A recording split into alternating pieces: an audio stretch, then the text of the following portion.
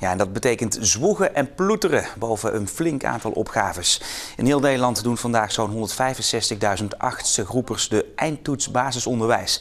Die meet wat een kind in acht jaar heeft geleerd. De leerlingen krijgen, zoals hier op de Bosuil in Eindhoven, 200 meer keuzevragen voorgeschoteld, verspreid over drie ochtenden. De vragen gaan over taal, rekenen en studievaardigheden.